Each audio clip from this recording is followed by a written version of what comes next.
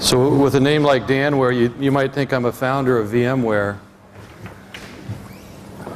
But uh, that's not the case.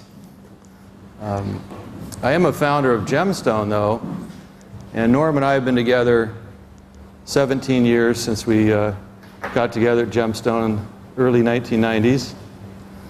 And I'm really happy to be here. Had a, and Gemstone's happy to be here. We had a great uh, asado last night with uh, Mariano. Uh, it was an excellent job. I was very happy with the, uh, all the fine food and really good Malbec that we drank. It was a, an awesome night. I got a good uh, welcome from a good Argentinian welcome, so thank you. We're going to be here for about half an hour in this presentation. Um, I'm just going to do an introduction for 10 minutes. But my main message to you is that we're excited to be promoting the Smalltalk language, uh, and so is VMware, since they acquired Gemstone. Uh, we, we're going to talk about that business and why it's important to us, and, and, and how it might relate to you and your interest in Smalltalk. So, uh, Norm, why don't we start with uh, some of the top customers? If you look at this uh, graph, this is one reason we're excited. Uh, over the last uh, 20 years, we've built uh, large customer bases, including Telecom Argentina right here. We had an excellent visit yesterday with the CIO of Telecom Argentina and had a, a good meeting. They're proceeding with a major Smalltalk 64-bit implementation, and uh, that's very exciting for us and for them. And they're going to be looking at object technologies in a number of other areas in other applications, uh, in, in both Smalltalk and Java. Uh, and we also have a, a, Java offering called GemFire, so they're very excited about that.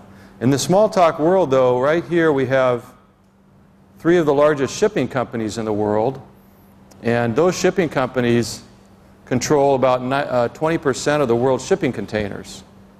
That's a very major uh, vertical market segment for Smalltalk. And that's running the entire shipping company. That runs the entire logistics of each of these companies are three or four billion dollars in size. And that runs the global logistics for all of their container movement. Uh, it's like it was, given an award by the Smithsonian Institution in Washington, D.C. as uh, kind of the FedEx of the shipping business. And that uses Smalltalk 64-bit uh, as its core platform.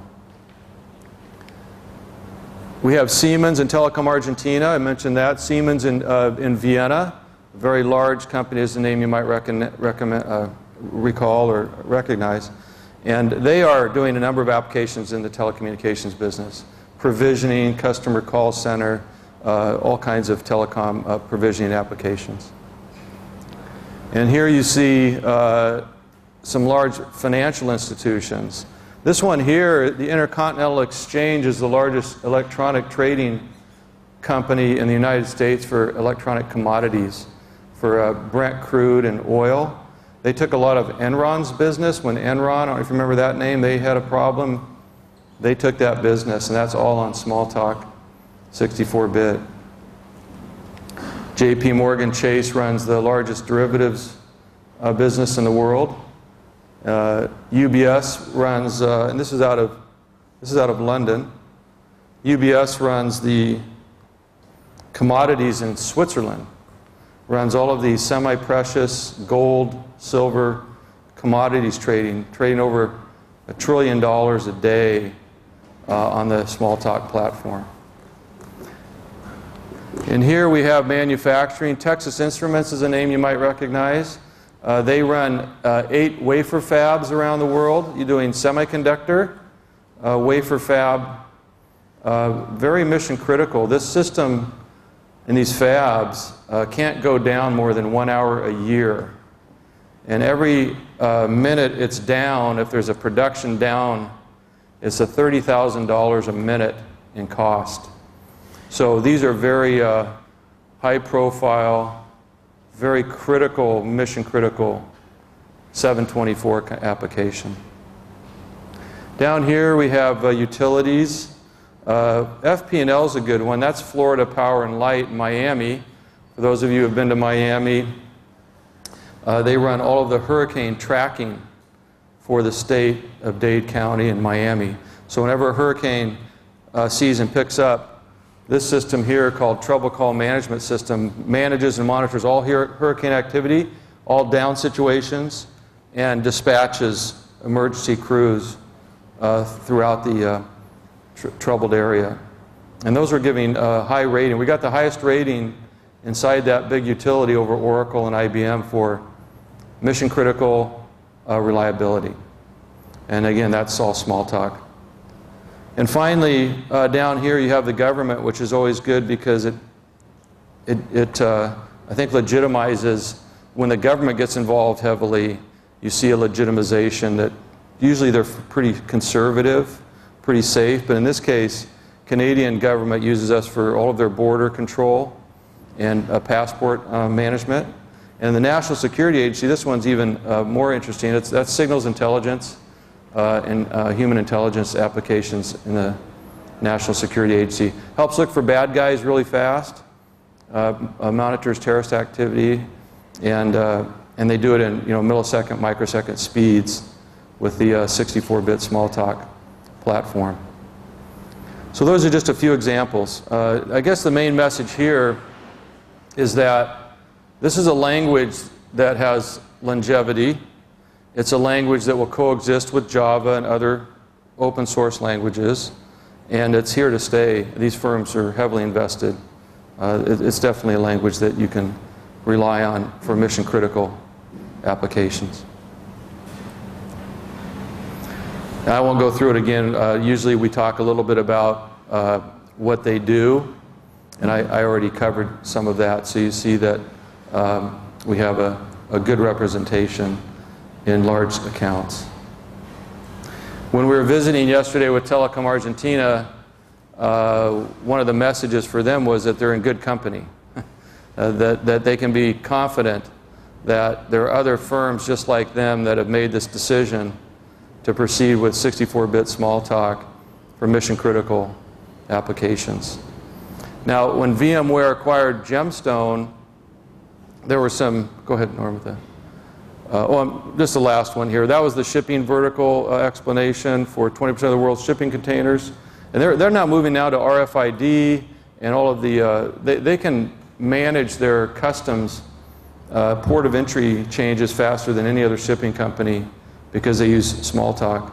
So if you, you can imagine a big container ship going across the ocean and they hit a typhoon and they have to vector that ship to a new port, they can immediately stack and rack the containers off the ship faster than anyone else to re-vector those containers to another port. Th that type of thing is very critical. And they do it in real time in 64-bit. So to my point here, kind of wrapping up before Norm gives the product uh, roadmap for Smalltalk 64-bit, VMware uh, acquired Gemstone about maybe two years in next June. And they acquired the technology. Uh, of course, all of the people stayed and the engineers, and both Smalltalk and Java. And what we see here is uh, they saw very strong synergies with the VMware uh, customers. They saw strong technology innovation. Um, they, they value the mission critical applications that we'd built. That's why they picked uh, Gemstone in their acquisition over Terracotta was one of the other choices in open source, uh, distributed data management. And they continue to invest. Uh, that was very important for people that are looking to deploy applications. Is it, it's not going away, it's actually being invested in.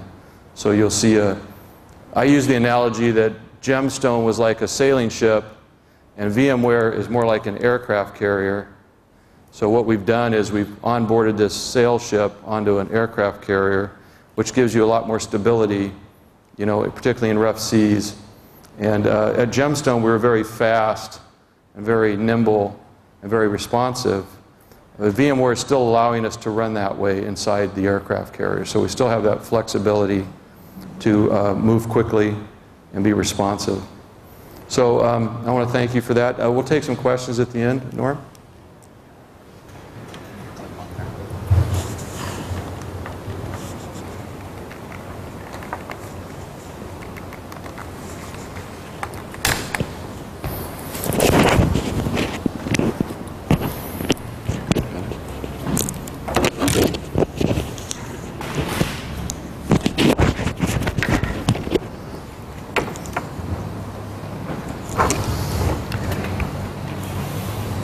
Talk about the uh, Gemstone product roadmap real briefly here.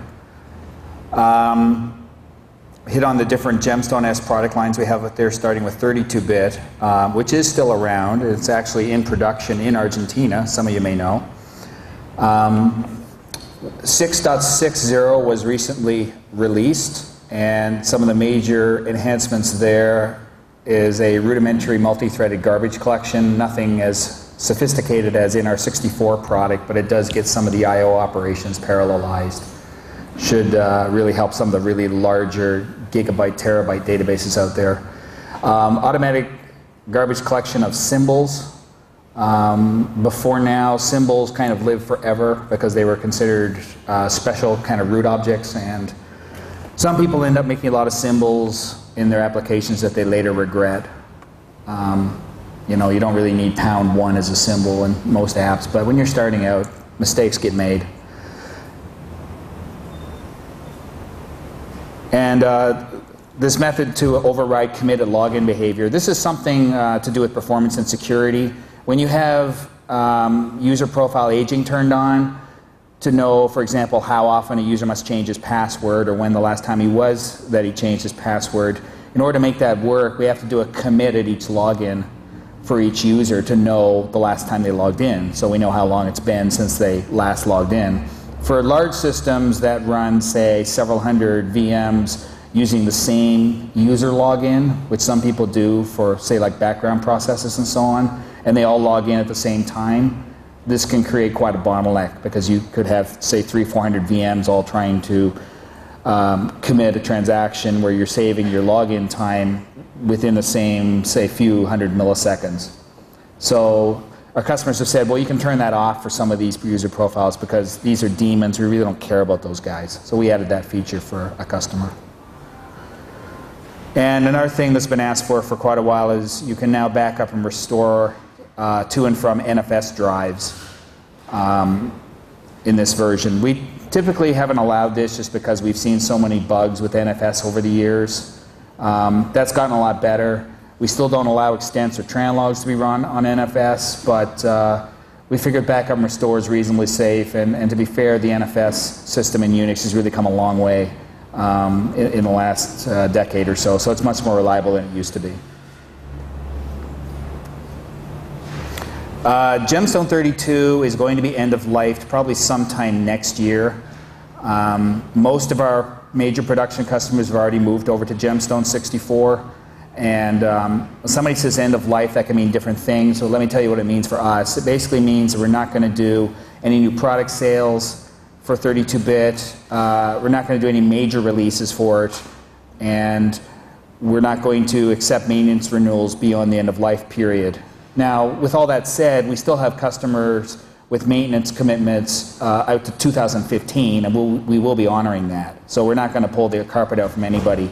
But it, what it means is we're going to try to start to wind this product down and move everybody to 64 just from a cost and engineering resources uh, point of view.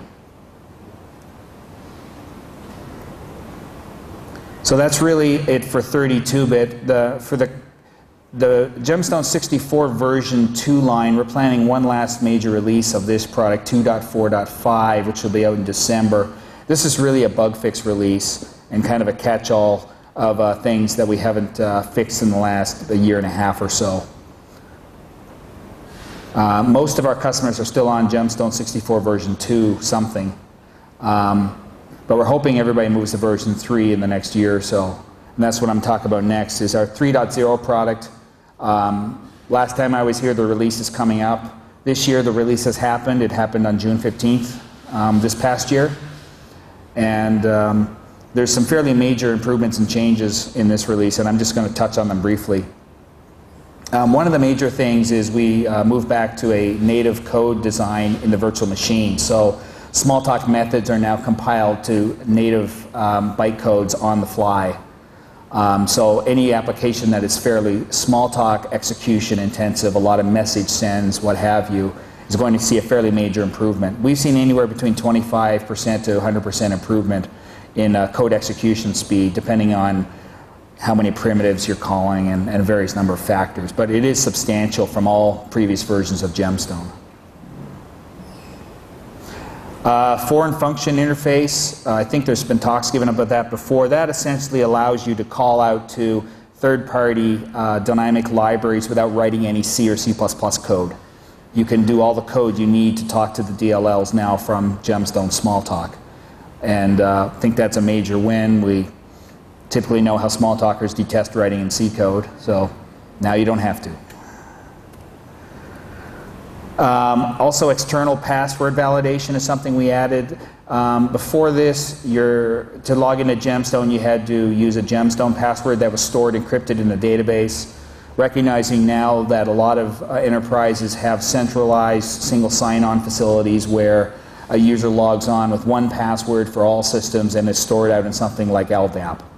So you can now do that with Gemstone 64 version 3. You can use your LDAP password to log in if it's enabled for user profile. And we use OpenLDAP and OpenSSL to go out and validate that login so that there's no uh, password anymore required to be stored in Gemstone. You can also use Unix validation if you just want to have uh, standard Unix password validation as your Gemstone login.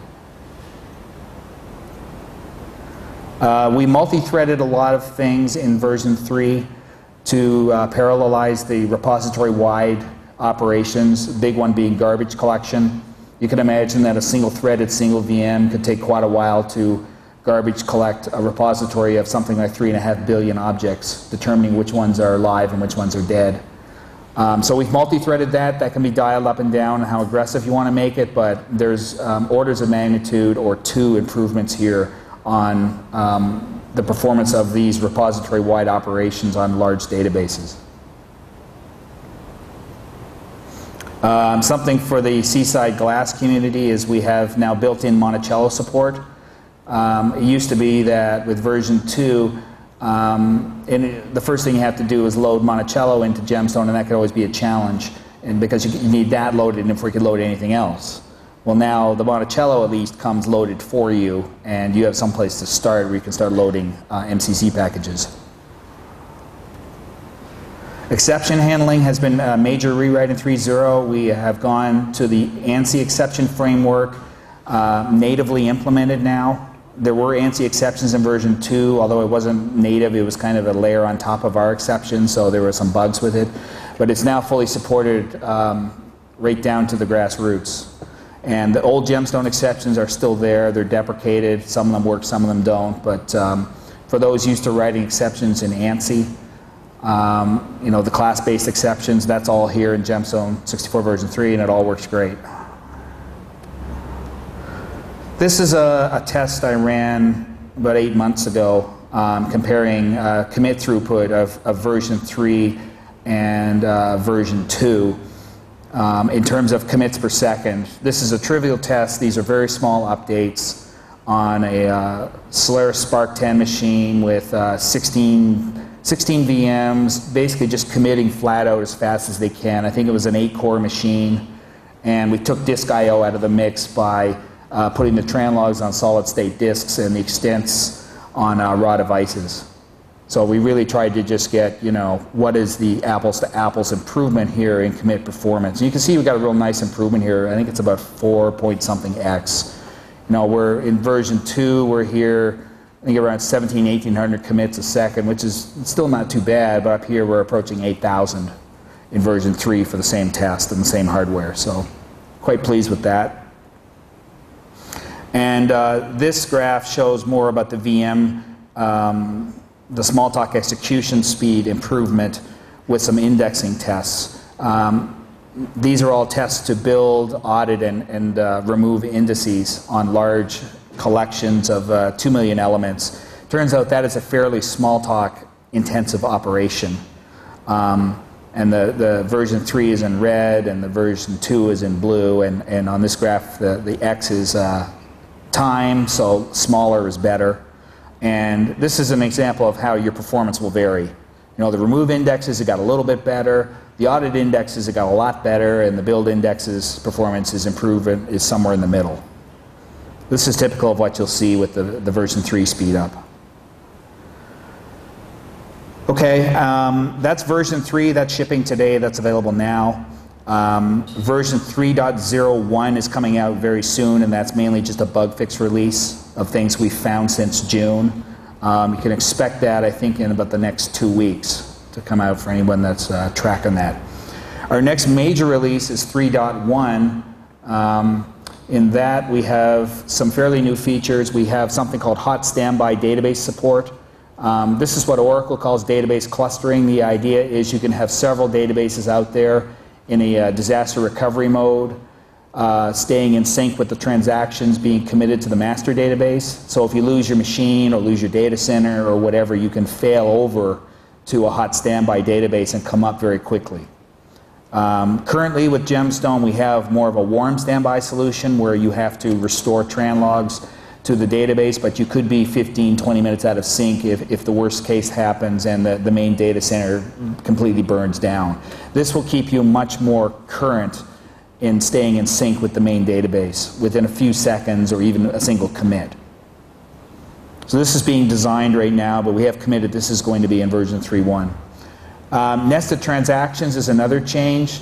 Uh, the idea here is if you make a bunch of changes to uh, gemstone objects in your transaction, but you want to roll some of them back, but say not all of them, you can do that with a nested transaction now. So you can do multiple begin transactions and abort out, say, one level to roll back some of your changes, but not all of them. So there's, there's various applications where this can be quite handy. Uh, something else coming up is native support for SSL and TLS with our socket layer. Um, currently, we have a class in Gemstone called GS Socket, uh, which supports all the normal socket operations to talk to a, a, client over, over a socket, but we don't have SSL support. That's now coming with a new class called GS Secure Socket, which is a subclass. And this uses the OpenSSL uh, open source framework uh, to do that and you get all the you know encryption, all the different uh, um, certificates, and all that all that kind of stuff you get with OpenSSL. You get here. So um, we know of at least one customer that has a, a glass application. I think they wanted to talk to PayPal, and the only way to do to talk to PayPal is with secure socket. Understandably so. And you can do that now, but it's a little bit difficult. We're going to provide native support for that in 3.1. Um, also, some improvements to support SOX requirements for some of our corporate customers are, are um, since the Sarbanes-Oxley thing, they want auditability on everything, who changed what when, what time did they log in, what time did they log out, what did they have for lunch, you name it, they want to know it. They want to be able to turn on those controls. So we're adding a bunch of support for that, for better uh, tracking for security compliance um, with Sarbanes-Oxley. Time frame for this release is scheduled to be mid-June next year, of 2012. Um, that's all I have.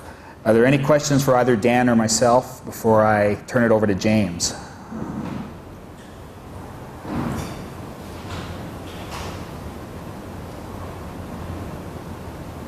Okay, thank you very much.